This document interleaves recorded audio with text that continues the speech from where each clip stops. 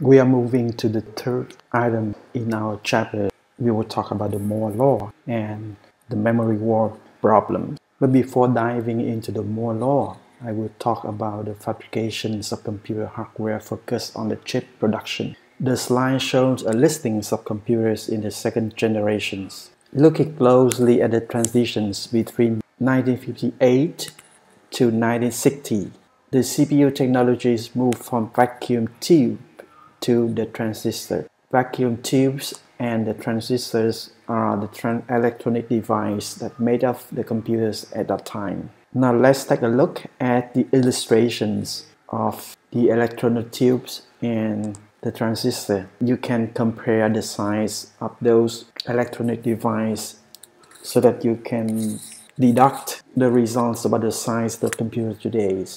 On the left is the vacuum tube and the size of the tube in comparisons with other components on the board. In this case is the transformers you can see that the size of the tube is comparable to the transformer, which is very large. On the right is the tiny transistor in comparison to the electron tube and the illustrations of the practical size of the transistor mounting on the surface of the board in this figure. The size of the circuits is hence fantastically diminished the transitions from the vacuum tube to the transistor can be considered as the revolutions in the computer productions that the size of the computers was considerably reduced. Now let's take a look at the processor fabrications process. The slide you, that you are watching illustrated the CPU or the chip in general speaking fabrication process the fabrications start with silicon ingot, which has been developed previously through a growing silicon ingot process.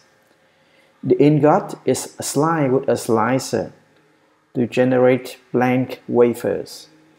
The blank wafers are processed carefully and meticulously to produce qualified wafers ready for making the chip. After wafer testing, the dies are cut out from the wafer through wafer dicing process.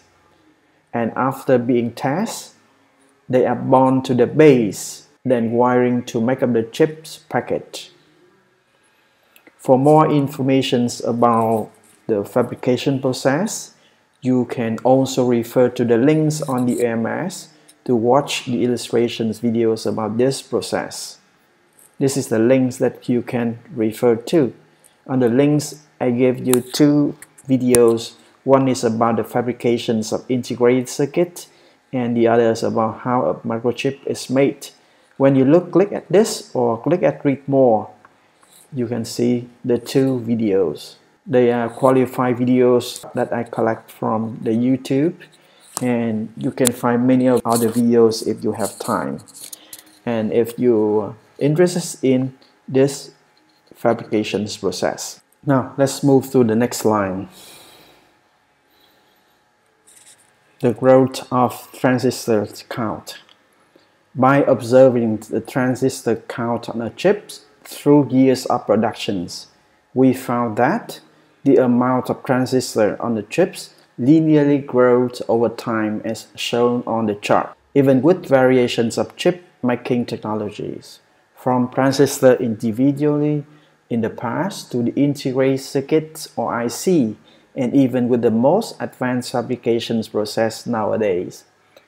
The observation is named after Gordon Moore, the co-founder of Fairchild Semiconductors and former CEO and co-founder of Intel, who in 1965 posted a doubling every year in the numbers of components per integrated circuit and project this rate growth will continue for the last for at least another decade.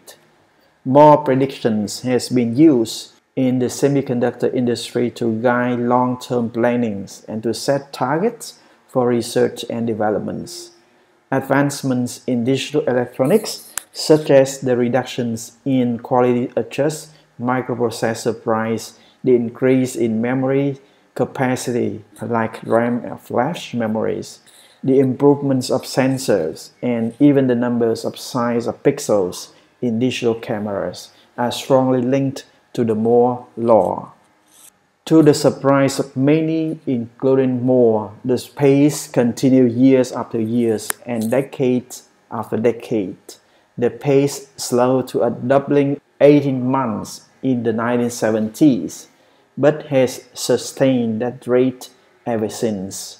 As a consequence of the Moore law, you can see that because the number of transistors produced on the chips double every two years. So the processing speed will be doubled after every two years. And consequently, the energy is consumed by the operations of the processors also double after two years.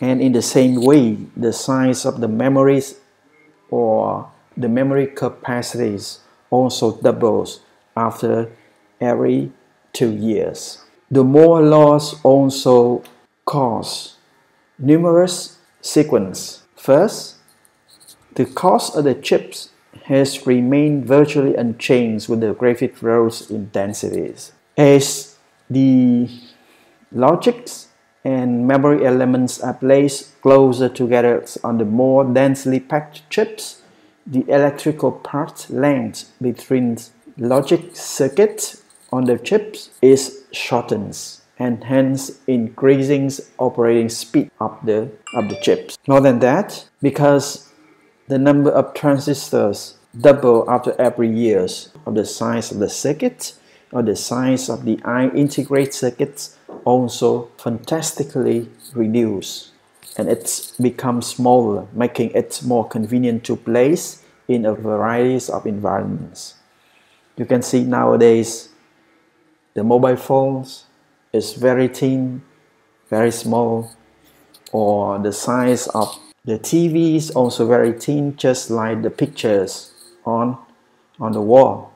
Right? And the last consequence is that because the size of the chips is small, the transistors are densely packed inside the chips, the interconnections on the integrated circuit is reduced, right? And the reliabilities of the chips is also increased. With more circuitries on each chips, there are fewer inter-chips interconnections. Now, about the memory wall. According to the Moore law, you can see that the number of instructions that the CPU can process per second is doubles after every two years. Right? The memory capacities produced also doubles after every two years. But the processing speed between the CPU and the memories outside the CPU chip is not the same. And the growing disparities of the speed between the CPU and the memory outside the CPU chip is what we call as the memory wall. An important reason for this disparity is the limit communications bandwidth beyond the chip's boundaries, which is also referred to as bandwidth wall.